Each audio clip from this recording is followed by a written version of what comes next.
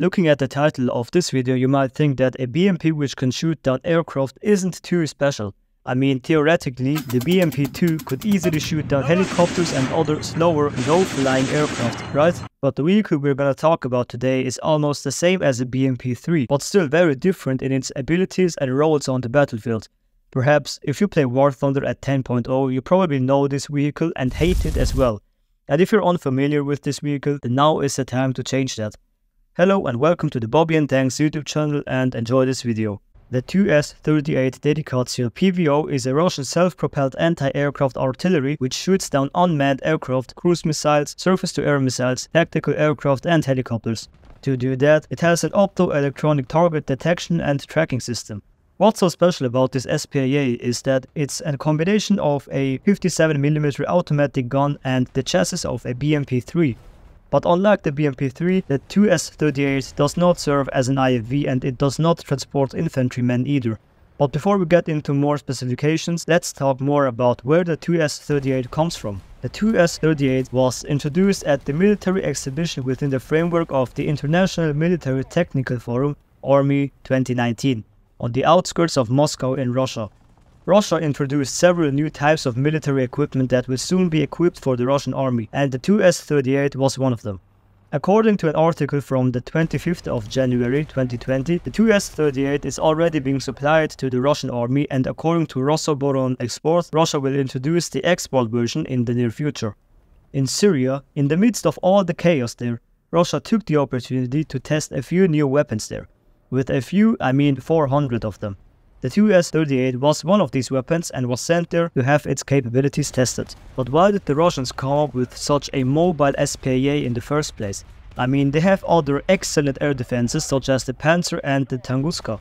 Well, the main reason is this. As we've seen in Ukraine by now, there is a very rapid development of unmanned aircraft taking place. This creates a new aerial threat which needs to be eliminated. The problem is just that the current air defense systems haven't been able to effectively deal with those very small and cheap targets.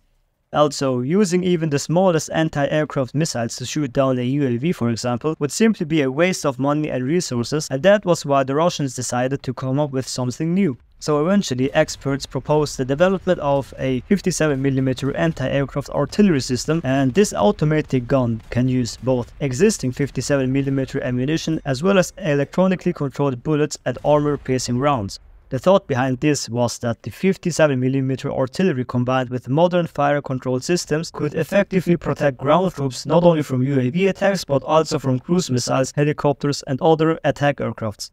The 2S-38 has its place as a part of a large system which includes various support vehicles. Russia's development of a large caliber SPAA gun mounted on the chassis of a BMP-3 infantry fighting vehicle is surprising for many, especially because air defenses have proven their capability over a long period of time.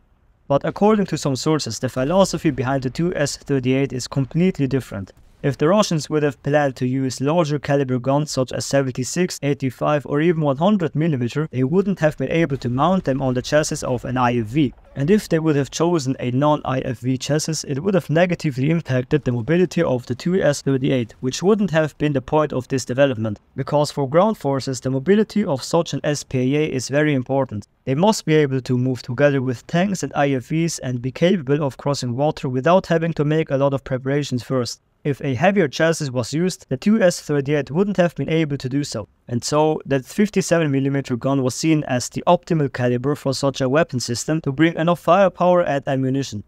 Next to the 57mm gun, it also has a 7.62mm machine gun. For the Pantsir or the Tunguska, the combat effectiveness against unmanned aircraft relies mainly on their 30mm cannon.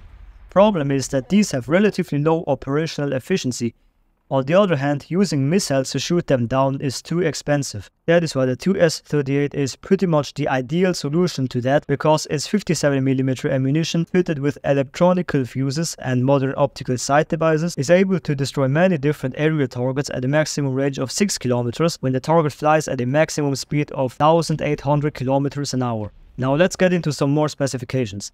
The 57mm cannon has a rate of fire of 120 rounds per minute, Doing the math, that means it shoots 2 rounds per second. The amount of ammo stored in the 2S-38 is 148 rounds. The effective range is estimated at about 4.5 kilometers. The optoelectronic reconnaissance armament has a wide field of view and covers 360 degrees with a maximum range of 12 kilometers.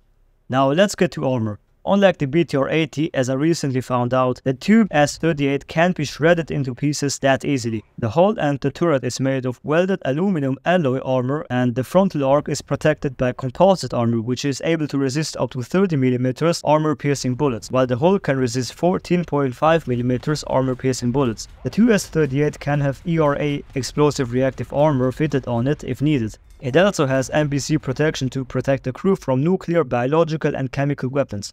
On top of that, it has an automated fire extinguisher system and in regards to cover, it has a set of smoke grenades and much like the Soviet era combat vehicles, it can pump fuel into the exhaust to create a smoke screen.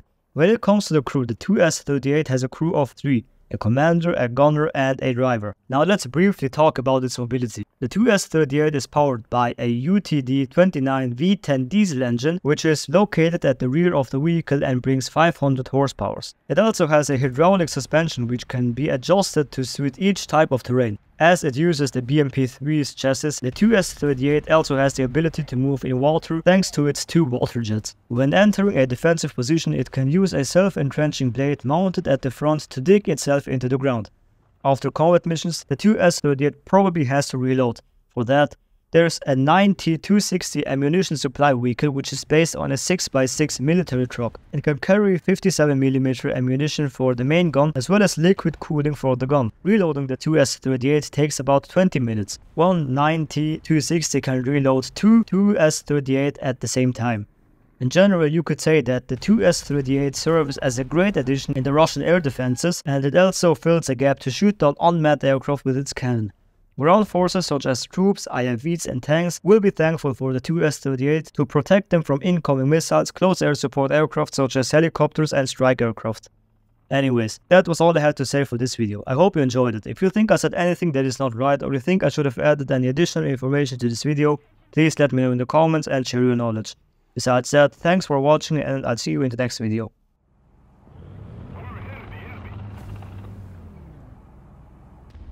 Вперед! Есть вперед! Вижу повреждения!